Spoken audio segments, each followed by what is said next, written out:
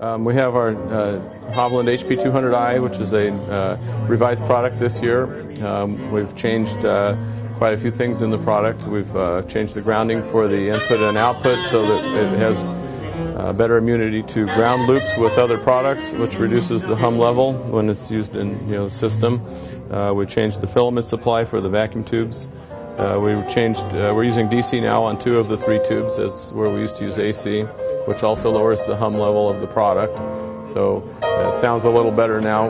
It's a little blacker between the uh, notes, that sort of thing. Um, we combined where we had two circuit boards. We combined it into one circuit board, added some connectors uh, to make it easier to assemble and service which uh, has also made it sound a little better.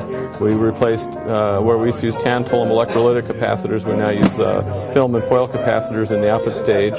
And these are the Hovland MusiCap, which is our own capacitor. That improves the sound quality quite a bit. And uh, we redid the uh, balanced output board that drives the XLR jack.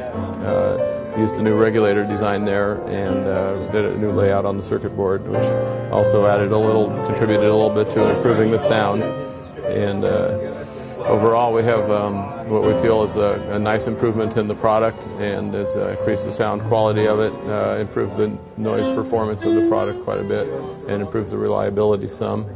Um, we also have changed the brand of some of the passive components. We use uh, different resistors in a few key places. It's improved the sound quality as well.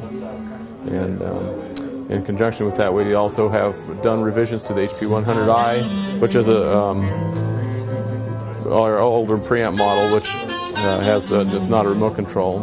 And uh, we did the Radia I now, which is a revision to the Radia. We've done some power supply revisions in there, which have increased the sound quality in the Radia. So those are the new products for uh, 2009 for Hovland.